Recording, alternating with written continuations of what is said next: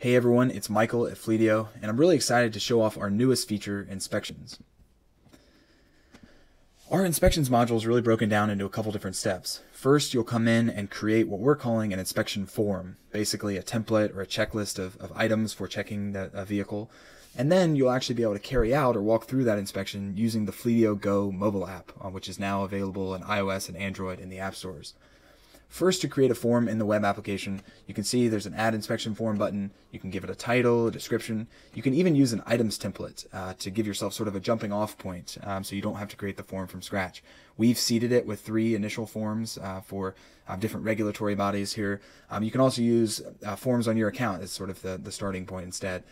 Let me jump into a form I just created uh, called the Daily Vehicle Inspection. And when I go to edit this form, you'll see it's a series of different items here, different item types, a meter entry, pass fail items, uh, for different checks, different uh, items in the checklist for checking this vehicle and, and inspecting it. Um, I can move these around if I want to change the, the order that they appear in. I could duplicate them or copy them. I could delete them.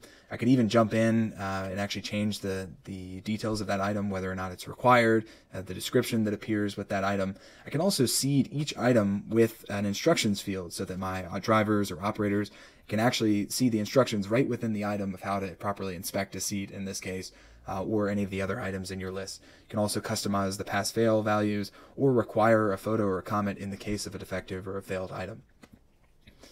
Also wanted to cover the concept of a workflow. So this is really the power that happens once an inspection is submitted.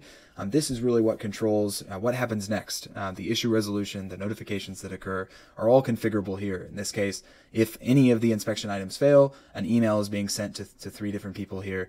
I can go ahead and update that. Let's say maybe I want myself on this list as well, and I'll add myself to it and update the workflow. If any inspection items fail, uh, the specific item in this case, tires, um, you'll see that the vehicle status is going to change to out of service and an issue will automatically be created in Fleetio. I can go ahead and save this inspection form, make sure that it updates my changes, and then I'll jump into the mobile app and show now what it looks like to walk through this daily vehicle inspection. Alright, so I'll jump into the Fleetio Go mobile app here, and you'll see I have my vehicle list in front of me, and I can select a vehicle. Let's say today we're going to inspect vehicle A5. I can go to its vehicle profile, select inspections, and you'll notice the daily vehicle inspection form now available to me that we just created. And as I step through, you'll notice all the different inspection items, uh, whether or not they're required. And if I click start, I can go ahead and start performing this inspection beginning with the meter reading at the top. Um, and I can give it a new meter reading, we'll say 64,000. Um, and jump into the next item. This is a pass fail item for the mirrors. We'll say those are fine. I arrive at the seats item here and I can click instructions and look at the seated instructions that we entered on the web app. We'll say those are fine.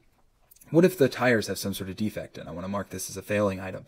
I'll do so and I get the opportunity to attach a photo or a comment. I'll take a photo just of the desk where I'm sitting for an example and I'll attach that to this inspection failure here. Um, so this becomes a part of the failure record. Once I've added that photo, I can jump through to the next item. Let's say, hey, there's body damage as well. So this one is also failing.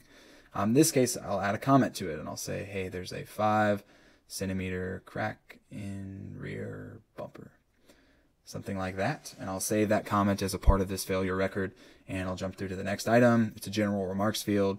Why don't we just say all else is fine. And finally, I have a signature field, so I can actually use my device's uh, touchscreen here and enter an actual signature right onto this inspection record. I'll click save, flip my device back over, and check submit in the bottom right. I get a little confirmation. I hit submit, and my inspection form has been submitted. So as I jump back to the inspections page, now you'll see when this inspection was last performed by myself today. Uh, I can click the history icon in the top right and see this specific inspection submission.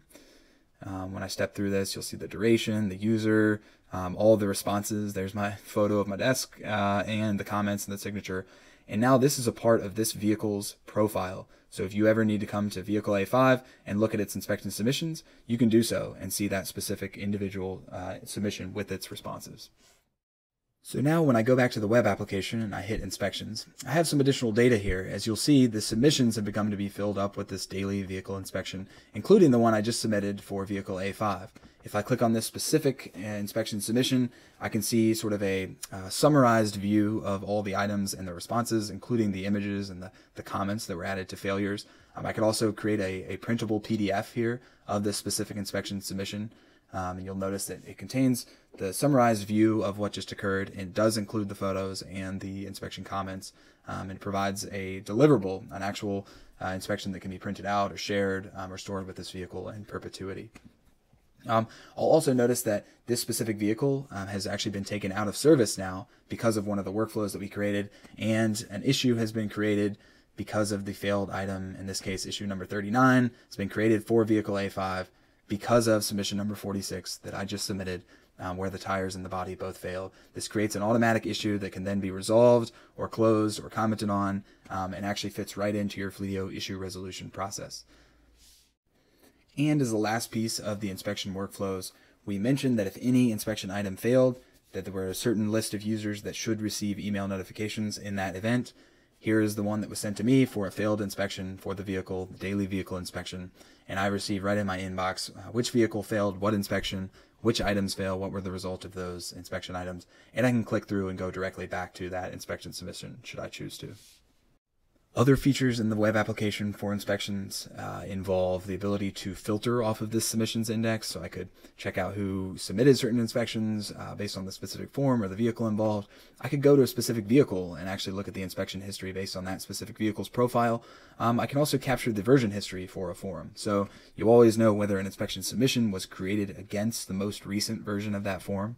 Uh, for auditing purposes, it's a very powerful feature. And we're adding more and more visual design and reporting and features every day. Uh, but we do believe this is already a very powerful tool for removing paper from the inspection process and keeping your vehicles safe, uh, ready for the road, and in action for your business on a day to day basis.